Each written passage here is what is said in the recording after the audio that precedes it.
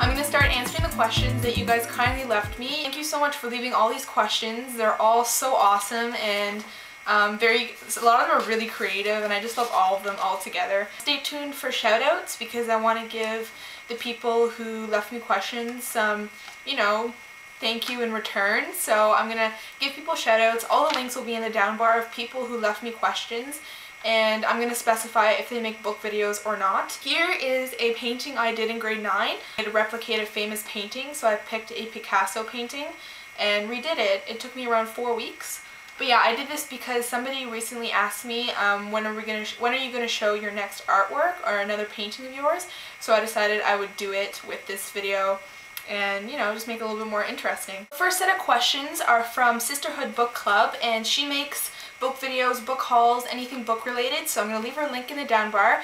And yeah, go check her out. When it comes down to it, I think I will choose The Hunger Games but then when I say that, I want to choose Mortal Instruments too, so it's really hard for me to say. But it's definitely in between those two, and I love them for different reasons. So it's hard for me to say um, which one's my absolute favorite. But if I had to choose, I'm gonna say I'm gonna I'm gonna choose The Hunger Games. I think there's just something about it that I really really loved, and I don't think anything will ever come close to it for me. Do you judge a book by its cover? Yeah, I do. I mean, I think everybody does when it comes down to it. I think it's because since I love art, I really do judge a book by its cover because I really love that artistic aspect of a book cover. So for me, it really doesn't matter, but it does matter in a sense. I mean, if I see a cover that I really like, of course I'm going to go to it and check out its synopsis, but I don't buy books just because of the cover. It has to be both the cover and the synopsis. But if I see a book with a cover I don't like, I'm not going to go near it to be honest. I'm not going to really check it out. It has to catch my eye for some reason and if it doesn't I'm not going to really um, check it out any further. Are you in a book challenge for 2011? Yeah, I'm in two. I'm in the Story Sirens um, 2011 debut um, challenge where you have to read 12 books that are released by debut authors in 2011 and I'm in and I'm entered in a different one as well. I forget what it's called, but you have to read 24 books, pretty much um, each book for the letter of the alphabet, and I'll leave the links to both of the contests in the bottom bar. Dominique, also known as the Story Girl 1996, asked me three questions. She makes book videos as well. She's really funny. I really like her videos. She does book reviews, book hauls, book related stuff, so her link will be in the bottom as well. So she asked me, what's your favorite book? I guess that means a book that's not a part of a series, that's just by itself. And I think I would have to say Sisters Red by Jackson Pearce. I really love that book. I love the twist Jackson put on um, Little Red Riding Hood, and I just loved it all together. I could not put it down. I loved it so much. Um, how do you pick a book to read? Um, if I just finish a book that has a lot of action and suspense, I'm not going to go for another book like that in my shelf. Um, I usually read what's opposite to what, to what I just read. So if I read a book that has a lot of romance and has to do a lot with relationships, then I'm going to read something that has a lot of action, so the opposite because I find that I get bored of things easily and I like a lot of variety. So I'm just going to pick something that's kind of opposite of what I just read. If I just read a really long book, I'm going to go for something that's shorter and also, if there's a book in my shelf that um, was recently recently released and I'm really excited to read it, if it's a part of a series that just came out, then I'm going to read that as well because obviously I'm really excited. So it all depends. Next question is probably one of my favorites. It's the biggest fictional character crush. When it comes down to it, my top two would be Patch from Hush Hush and Jace from the Mortal Instruments. And the biggest one out of those two would definitely have to be Jace. I love him. I think his sarcasm and his humor and his personality is just the best. Jace is just, he just exceeds fiction. I really don't think of him as a character. To me, he is so real and he's definitely my biggest fictional character crush. Shonie Shanya, she also makes book videos, um, book hauls, anything book related. I will leave her link in the down bar. She asks, what book would need to have a character with your personality? A certain scene where someone needs to be more aggressive, generous, whatever your personality is, etc. I read books to become a character and to live through their personality that's different than mine.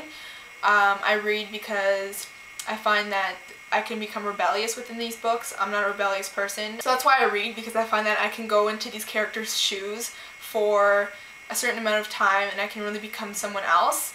So it's hard for me to say what character I would want them to become me. When I think about that though, I think of the Iron King series. Meghan struggles to kind of hone in on her powers and with me, I felt that I was kind of frustrated with her because I felt that she should have done better to um, she should have done better to gain control over her powers. I just kept saying to myself, you know, Meghan, why aren't you getting control of your powers, yada yada, I would so get them, why, what are you doing, shouldn't she have them by now? And I think that's the perfectionist in me.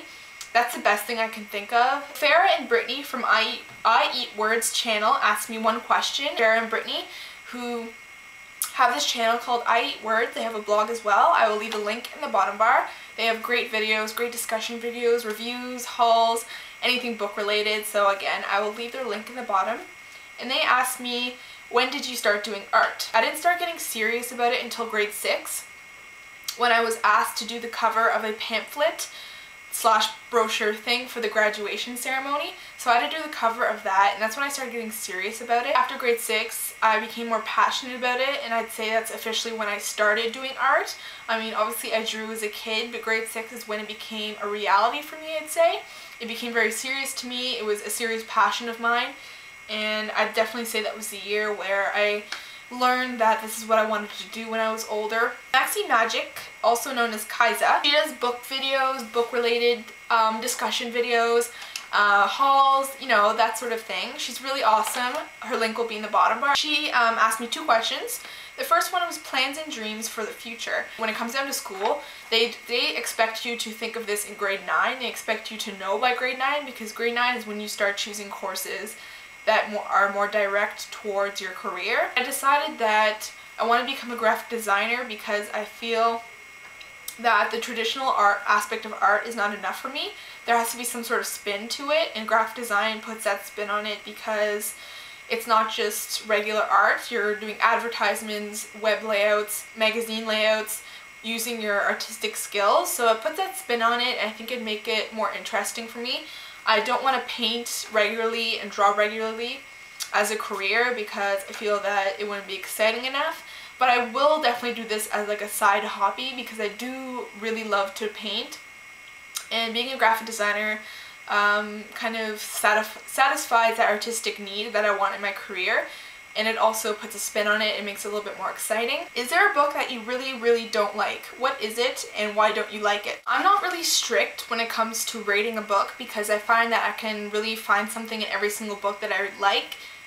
It doesn't really matter what book it is. I find that I can always find something I do like. Sometimes that's the case, but with this book, I don't think I can say there's something I like about it. It's super cliche and just, it's just not good. Never Cry Werewolf by Heather Davis.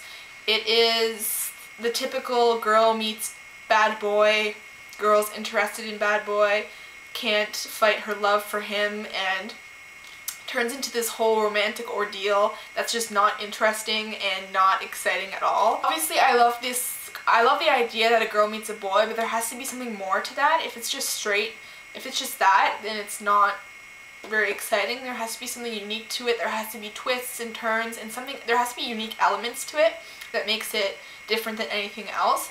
And with this, if I found it really cliche and typical, and it's really short, and that's another reason why it was bad, is because there's no depth to it, and it just really turned out into something that was just boring and not very good. It was short and just plain, very plain and dull. Meaghan, also known as Meaghan the Book Addict, also makes videos, if you didn't tell from her username.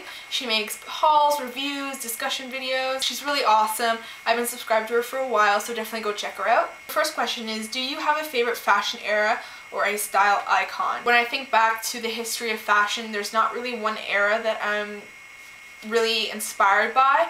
Obviously fashion this, these days is inspired by past fashions. Fashion has definitely evolved and I think that if you like something it obviously connects to a fashion that occurred a while ago, a long time ago. I can't really say there's a specific fashion era that I'm inspired by because I'm a whole mishmash of things. I'd say that my fashion icon, because I do have many, I really like Katy Perry. I think she's awesome. Obviously what she wears is a little out of the ordinary, but I think she's adorable and her clothes are, are just awesome. They're sparkly and they're cute. More um, edgy side probably comes from Lady Gaga and I say that with the least amount of craziness because I know her outfits are so insane. But when I see her outfits, I kind of break it down and I like certain things that she pieces together. So I'm inspired by maybe the um, the studs on her jacket or the material of her shirt. But altogether, obviously it's crazy. But when I look at her, I'm inspired by her because when you break it down, everything is just so amazing and the way she puts it together is obviously fantastic and really crazy. But when I look at her, she is my fashion icon because she steps out of the box, does something new. As a whole, I'm not going to say that I love her whole outfit and that I'd wear it, but I like when you break it together, break it down, and I like um, the aspect of where she comes from. Her next question is dream vacation destination. Um, I'd say my dream, definitely my dream vacation is Italy. I am Italian. Only right that you go see where your family is from and I just want to see the beauty of Italy. I want to see the architecture, the cathedrals, and just everything all together. I just want to see Italy because I know it's gorgeous and you just have to see it in person to experience as it is a whole. So definitely want to go there and see where my grandparents came from. Her next question is, is there a character in a book that you've read that you like to be best friends with? I feel like there's so many characters that I'd love to be friends with and obviously I love to be best friends with some of them as well. Dash and Lily's Book of Dares, I think Dash was an awesome character. I'd love to be friends with him. I love his sarcasm and his humor and his wit. He was just an awesome character altogether. I'd love to be best friends with Clary from The Mortal Instruments. I think she's a great character. I really do love her and I think she was just an amazing character throughout the whole series. I love to be best friends with Sam from Maggie Stiefvater's Linger and Shiver, Shiver series. Um, I think he's great. I think he's so relatable. To me, he's more than a character, which is what I think that you want to look for in a character that you'd want to be best friends with. You have to see who would translate the best in real life. And to me, he's like someone taken from the world and just put onto um, paper because he's just so real and his um, personality is really down to earth. So Lorenzo, also known as Book Geek Music Freak, who also makes book videos, I will leave his link in the down bar, makes great book reviews, book hauls. Do you have any guilty pleasures? Name some. Definitely one of my guilty pleasures is chocolate for sure. I love chocolate. Nutella is like my life, not really my life, but you know what I mean. I'd say watching Gossip Girl is a guilty pleasure as well because I know it's just such a it's not a cliche show, but it's really over the top. When it comes down to it, it's not a great show, but I do like watching it. I find that I like the drama that's within it. I just love um, these fashionable girls dealing with all this drama in relationships. Worst and best character in a book. Worst character ever. Hmm. Worst character, I'm gonna have to say um, Cassia from Matched. Oh god, I just don't like her. Um, that's a recent bad character that I read about, but if I go into books that I read a long time ago, maybe I can find a different one. She was just a really bland character. I didn't like her choices, and I didn't like the way she dealt with things. I thought she was really hard to read about, and I just disagreed with her a lot. Best character, I'm going to say, is Katniss from The Hunger Games. Um, when it comes down to it, her strength and determination and her motivation and her heart is the best thing are the best things about her. Her personality is great as well. She just went through so much and she's really relatable. I love her. I think it's great that an author can create such an amazing character out of words and to me she exceeded fiction which is what all which, which which is what a great character is about. What do you do in your spare time besides art? I love surfing the web. I love um, um, going on YouTube, watching videos. I also write when I have time. I started a book actually, uh, who knows how long ago, but I did start one. I've I love writing short stories, so when I'm bored and I have spare time, I will write. I will start writing stuff that comes to mind. Um, I will also listen to music. Sometimes I play video games as well. I like to play on the Wii, and I've recently started playing Little Big Planet with my brother, so that's really fun.